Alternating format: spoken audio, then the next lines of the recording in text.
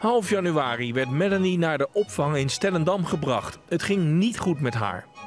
Toen Melanie binnenkwam was ze echt heel erg ziek. Ze ademde heel snel. Vooral als ze bewoog zagen we dat ook. Dus we vermoeden eigenlijk dat er iets met de longen aan de hand was. En toen hebben we röntgenfoto's gemaakt en toen zagen we een longontsteking. Het dier was verzwakt aangespoeld en in de opvang zagen ze direct dat het een zeldzame zeehond was. Melanie is ongeveer drie maanden oud. Ze heeft melanisme, dat is een afwijking. Het is het tegenovergestelde van albinisme.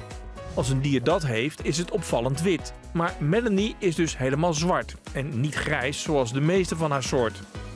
Het gaat nu stukken beter met Melanie. Ze is helemaal aangesterkt en voelt zich erg bijzonder tussen haar gewone grijze soortgenoten.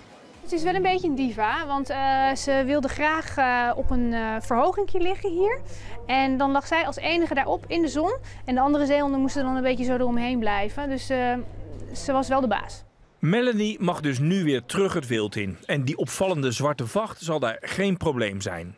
Er is eigenlijk niet bekend dat het haar in de weg zal zitten. Dus daarom kan ze gewoon als gezonde zeehond heel goed vrij.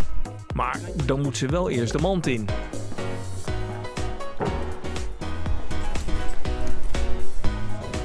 IE toch? Ja.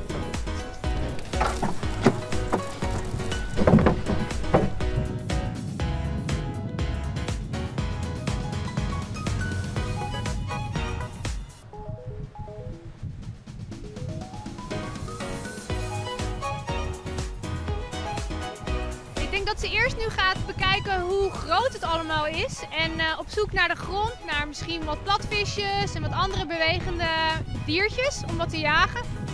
Ze hoort hier, ze hoort in de zee, ze hoort uh, zelf te leven op haar eigen manier. Dat gaat ze nu doen.